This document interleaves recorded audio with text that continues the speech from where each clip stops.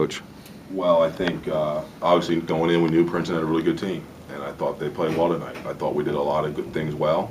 Um, There's certainly things that were disappointed in the, in the way we executed and some of the shots we missed early, but like- like all year long, our guys show a ton of fight, and they allowed us to play with everybody.